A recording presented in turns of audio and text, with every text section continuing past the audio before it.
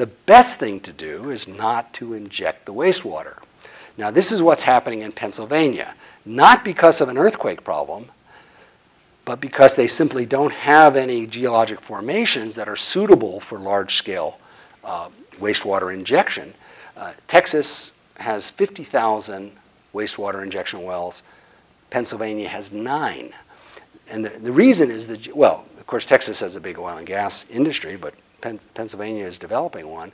But they, they basically don't have the geologic formations uh, into which to inject this water. So they were hauling it by truck to Ohio to better geology to the west, which was, well, you know, they had no choice. Um, and that was a really stupid thing to do.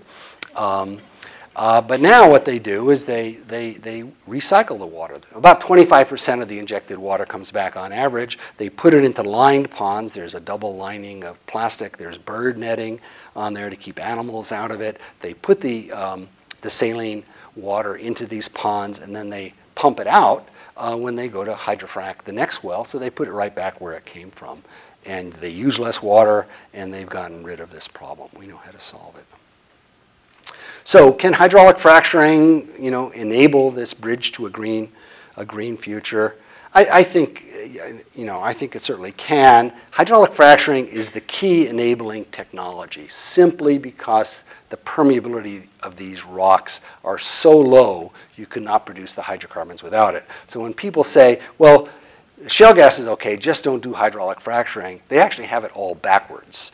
The, it can't be done without hydraulic fracturing, and hydraulic fracturing itself is not the direct problem. And uh, you know, we have a lot more work to do, but shale gas can be developed in an environmentally responsible manner. Um, George Shultz, who I've had the pleasure to come to know uh, in the last couple years at Stanford, um, you know, he's a man of great experience and great wisdom, and he has a way of just kind of taking a one-hour talk like this and reducing it to a few words. Let's not blow it. It's an unprecedented global opportunity. And that really, I could have saved you all a lot of time by just quoting, quoting George.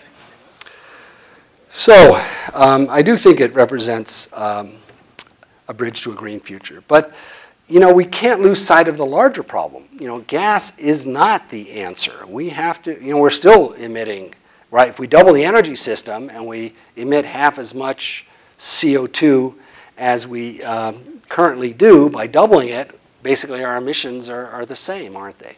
So um, we, we, we, you know, we have to solve this problem on many fronts. And switching from coal to natural gas is something we can do and should do and need to do, especially in countries like China and India with rapidly growing economies, rapidly growing energy use, and rapidly growing CO2 emissions. But at the same time, we have to sustain efforts to develop you know, a decarbonized energy future, or if you want to think about the um, uh, sort of the metaphor of a bridge, um, well, you know, there's got to be something on the other side of that bridge, right, when, when we get there. And natural gas can be a bridge, but we have to, you know, uh, you know, keep, uh, you know, developing sustainable uh, energy sources, wind and solar, and it would be wonderful to see a nuclear renaissance because we have to move to a decarbonized energy future. It's just going to take decades to get there, and natural gas can help uh, pave the way. Thank you very much.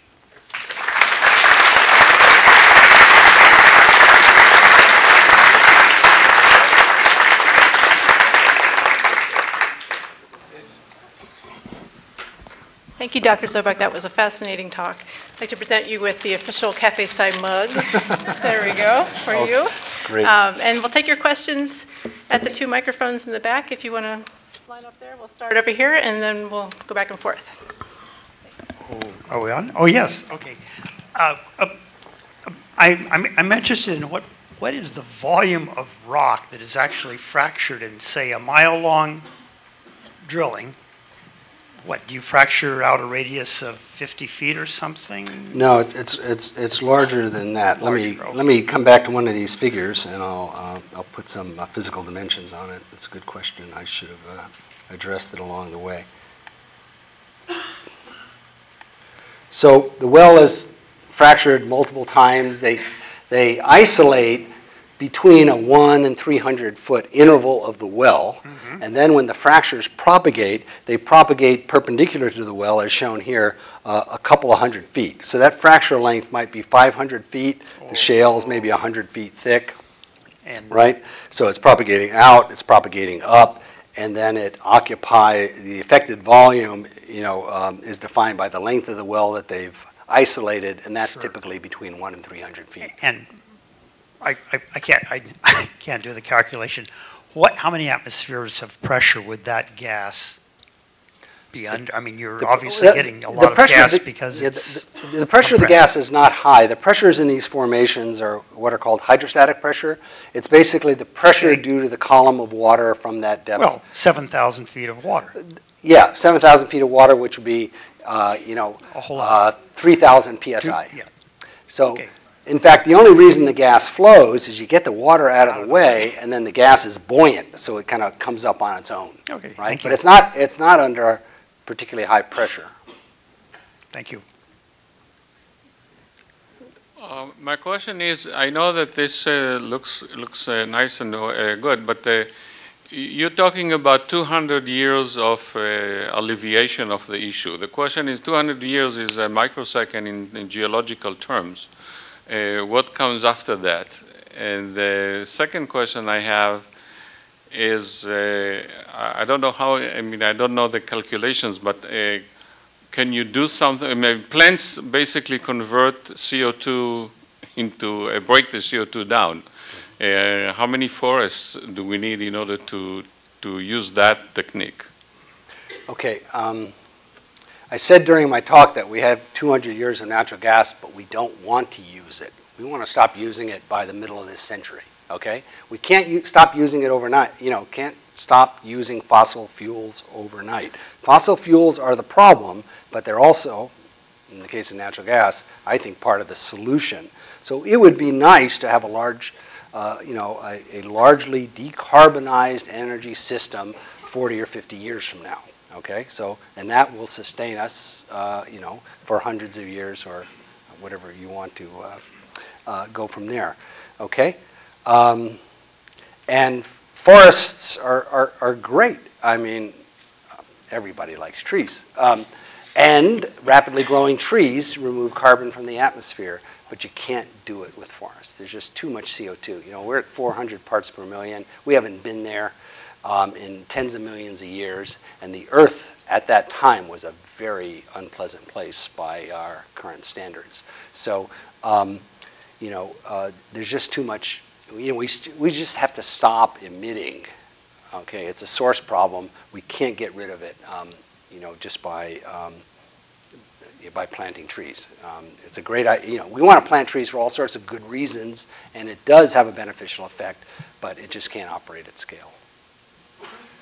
Um, To that point, uh, when I was working at EPRI, we hired a uh, forestry expert who um, figured out how much CO2 you could get out of the atmosphere by growing tr- trees and uh, using the wood to make paper that you piled up, copies of the New York Times, thousands of feet deep.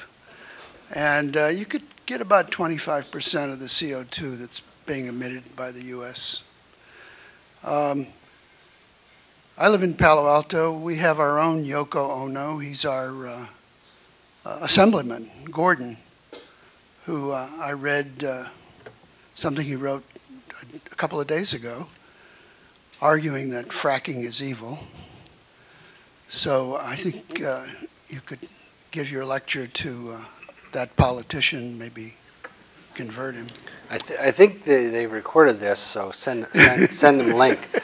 Um, you know, there's moratoriums being proposed all over the place, and, uh, um, you know, it, it's a political statement. It's, it's not anything more than that. It's not, I it's not logical, it's not justified, but people want to make a political statement that they want to move away from hydrocarbons, and so establishing these moratoria and, you know, um, misrepresenting the, I see, see, that's the problem. If it's just fracking, fracking, fracking, you know, there are problems, and I've tried to, you know, indicate what some of them are, and there are many more.